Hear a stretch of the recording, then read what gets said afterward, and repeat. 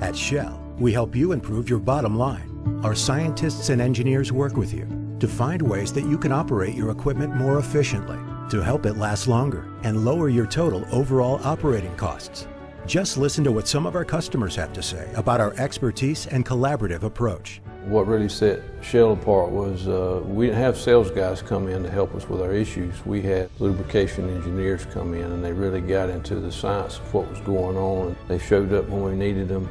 They've helped us with, with key issues that we were, we were facing regarding lubrication. And they've been there when others haven't. With Shell Gadus products, our customers have been able to use the expertise that Shell has uh, working with us on grease trials. What makes Shell easy to do business with to me is the is the people who come out and actually service us. They are they're the face of Shell. To me, it's not an entity, it's not a sign out on the highway. It's not a gas station. If I have an issue, I know I can call someone I know and say, could you help me? To this moment, I feel like we've been treated as Shell's largest account. At Shell, our people help your business succeed. Shell, together, anything is possible.